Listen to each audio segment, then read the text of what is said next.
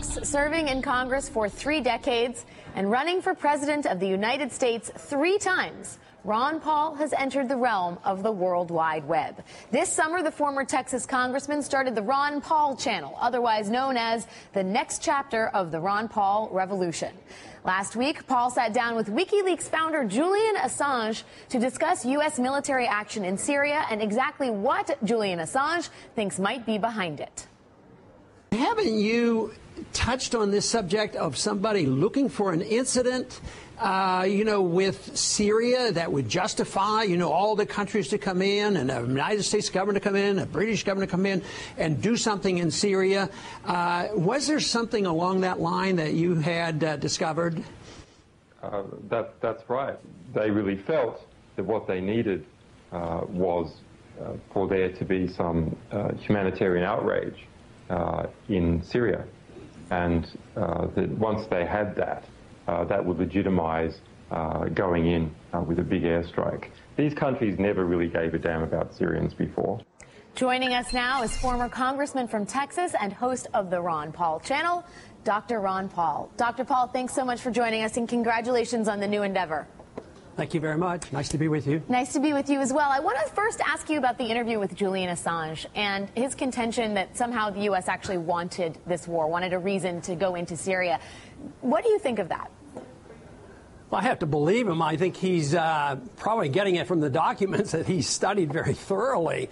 Uh, and I, I, think, you know, one thing that's interesting, what his predictions were, you know, if something happened, then they could justify that to go in and expand the war in Syria. But you know, it's it's not like uh, 10 years ago where you could bring up something and you could have have these comments made and everybody would join and the UN would join and NATO would join and the world would join in the war. Today, it's a different world. Even though they have the incident, they might have been hoping for something, but now they have this gas, uh, so-called uh, gas deaths of the people, and they're accusing Assad of all this, of all the killing, and and the rebels haven't caused any trouble. But the world hasn't rallied that way. So I think it's a different world. But I think it's a very significant event of what he was talking about. I, I, have to ask you, do you really think President Obama is looking for a reason to go to war in Syria? I mean, this is a president who has been very public with his skepticism about war. He took the he took an unprecedented action, which was to curb executive power and involve Congress in the, the decision making around military intervention. What did you think of that move uh, last well, Saturday? Oh, I thought it was pretty interesting. He was yielding to pressure. He was yielding to the vote, you know, uh, in the British Parliament. But I think there's some uh, reason to say that he personally might, you know, not like this. But I think the pressure comes from the people around him, the people who are always around all the presidents, all the leaders of the Republicans, all the leaders of the Democrats. They all gather together. So he's getting that pressure, and it might be contradicting some of his self instincts. But just look at how the leadership of both parties have lined up. They're they're just thinking this is this is it. We have to stick together. But do you think but that? I, I mean, I'm sorry to interrupt you, Dr. Paul, but do you really think that everyone's lining up to go in? I mean, the wisdom right now is that it's anybody's guess what Congress is going to ah, do in terms of the authorization. Yeah, you're absolutely right. I'm talking about lining up a leadership. Did you see the leadership of the House and the leadership of the Senate, Republican and Democrat? It's the same way when we wanted to curtail NSA. The leadership, you know, finally uh, kept the power for the NSA, but the grassroots, the coalition is building. I think there's a historic event going on here, and if this vote is, is uh, one, that is defeat the request to have uh, more military approach to uh, Syria. I think it'd be historic because it'll be a grand coalition of the Libertarian Republicans and the Democratic Progressives. Everybody's worried about the split in the Democrats and the split in the Republicans. I'm delighted with that split because it's pushing people together who are on opposite ends of the spectrum, one which I enjoy. Get, sure. Get the progressives to come together with the Libertarian Republicans and the Constitutionalists and oppose these right, wars but, and I mean, protect civil Dr. liberties. Dr. Paul, you, you have to admit that they wouldn't have a chance to make their voices heard had they not been given the opportunity by President Obama, which is to say, if, if he had not gone to Congress with this, they they wouldn't have had a chance to vote. And I, I guess I ask you, are you not do you not applaud the president for making that decision? No, this is this is pure political. I mean, he still says he doesn't need the authority. All our presidents say we don't need authority. But if there's a public pressure to say, oh, let's give the Congress a say, in the past they give the Congress a say, and like we're very important, and then they condone everything. We always condone uh, essentially of anything the presidents want to do. But today is different that today is different. The people are tired of this. The world's tired of it. The British are tired of it. When you think of British ally, when you think of how, how they were behind us on every bomb we ever dropped in the last 15 years or 20 years, all of a sudden they're breaking ranks. I think, I think this is, but to come to the Congress, it's not for constitutional reasons. I could have done that six months ago or, or whenever. But he's coming under pressure and maybe for political reasons. All right, uh, we'll make the Congress says, why are you doing this without our permission? Let Congress give them the permission, and then they can all share the blame. Well, I mean, so there's Dr. a lot Paul, of politics going. Uh, yeah, I, I would. I, I, guess we just. I'm, we'll have to agree to differ on this point because I do think the president. It seems that the president made that decision totally on his own last weekend and without the support of even his closest advisors. But we'll move on to another subject, and I, and I do want to talk about the Ron Paul channel a little bit. I know you just interviewed uh, your son, Rand Paul, and he also has taken a pretty strong stance on intervention. I wonder what is your uh, consultation with Rand Paul like in terms of foreign policy these days? Do you speak to him on the phone regularly? No, I don't. As a matter of fact, uh, he goes his way and I go my way because we're pretty independent minded. But he obviously has views very similar to mine, and he has, you know, spoken out pretty strongly against this war.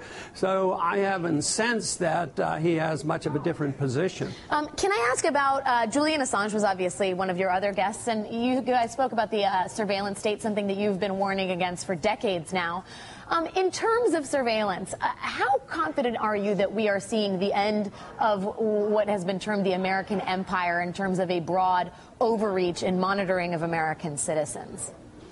Well, we haven't seen the end of it. Uh, tyrants and uh, uh, you know, empires cling desperately, and their best weapon is lying. Uh, you know, if, if, they can lie and take away the privacy of the individuals and spy on the people, they're very, very powerful. But the people are waking up. I'm encouraged by it. I was very encouraged by the Justin Amash vote, uh, that coalition again of libertarians and uh, progressive Democrats coming together.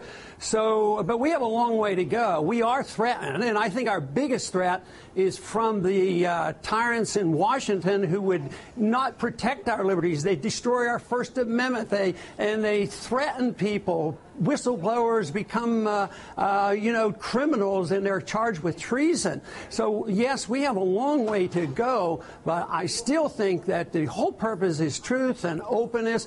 We need more openness in government. We need more privacy with the people, and we need to just come home and not have this conspiracy of our government to run all these wars and all these, all the wars have been based on lies. We haven't proven any lies yet from this administration. They claim they're not going to make the mistake mistake that Bush made about the lies. But believe me, there's going to be found many, many deceptions. And the biggest deception is that but we need to be mean, there Dr. for national. I have to interrupt you. You're, you're that saying that there are going to be many deceptions found, but you just admitted before that that we haven't seen any lies from this administration. Don't you think that's sort of irresponsible? Well, I, I think you need to repeat that again because I, I missed a little bit of that.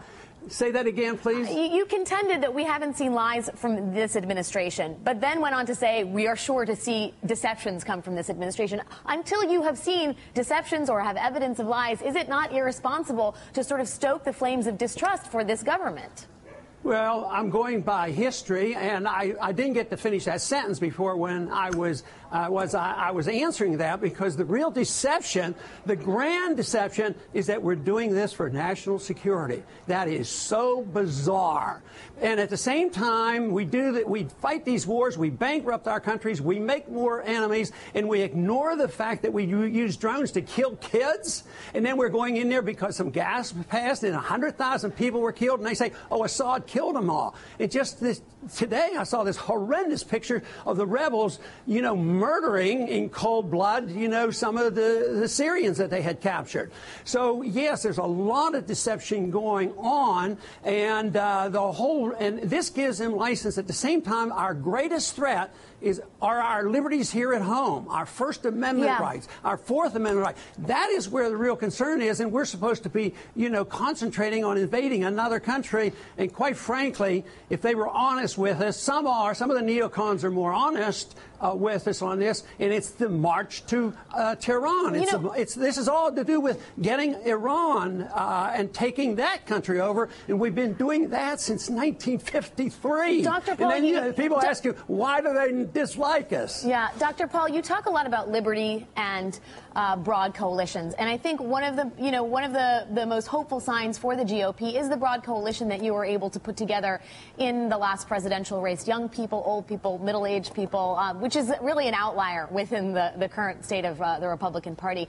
But with your emphasis on liberty, I have to ask you about some of the folks that are in your coalition. And this weekend, you're going to be giving an address at uh, at the Fatima Center, uh, at, the, at a conference in Canada for the Fatima Center, which has been called a hardcore anti-Semite group. Is this something that you would reconsider doing? No? Even it this- Catholic?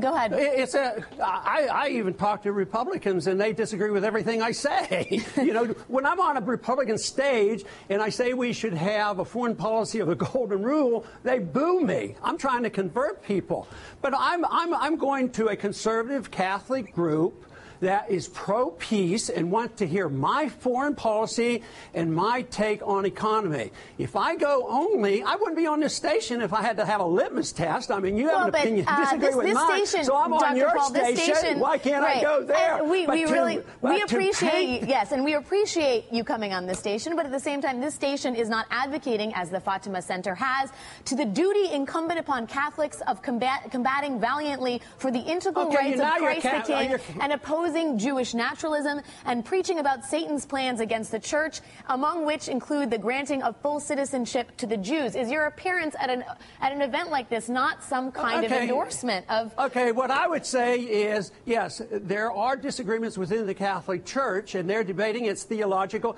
I have nothing to do with that. I, I'm not even going to pretend I know anything about that. Sounds to me like you have me on here to bash Catholics. I, I, know why am, uh, you're a I was Catholic raised basher. Catholic, so that's the last thing I want to do. Yeah, well, you ought to be more courteous to them and give them a break. I mean, you know, why can't we have discussions with people that might have a difference? And I put up with a lot of this in the last 40 years because not too many people agreed. But why I'm excited is the country is coming toward the way of peace and this coalition of libertarians and progressives. We've had too much war, too much spending, too much Federal Reserve printing of money. And that's what's important for you to bring this stuff up about the infractions of some group that I have no idea what their theology is all about. I don't even have any idea why you do things like that. Well, That just, because that Dr. just Paul, astounds you know, me. um, you know, there have been act, there have been a lot of folks that have been involved with your campaign, supporters. There have been newsletters that have been accredited to you that have strong anti-Semitic, uh, racist undertones, and I think the American public is curious about how you endorse or do not endorse or or deny involvement with any of that, and that that's why it's a relevant line of questioning. At the Well, same time, so I, I've had that. You know, the first month after I was elected in 1976, I had a picture in a magazine. Here I was practicing physician for all those years, and I run for office. I had no expectation of winning. I win. I'm totally innocent. The first month, they put my picture in a magazine with a swastika. So this is just horrible. It just goes on. When people disagree with you on ideas, they have to destroy your character. That's what they do. The main reason I get attacked from every anybody like you, it's because there's disagreement on my foreign policy. I want peace and I don't want to support the warmongers. So you have to go after somebody's character. I don't think, that that wrong. constitutes a character attack, Dr. Paul, but we really do appreciate you coming on the show and talking about the Yeah. ideas that are that are dear to you and and your hope for the country. Thanks for your time, You had, former you had Congressman. your chan- you had your chance. I hope I had my chance for my answer. Thank you very much, Dr. Ron Paul, host of the Ron Paul Channel. Thanks for your time.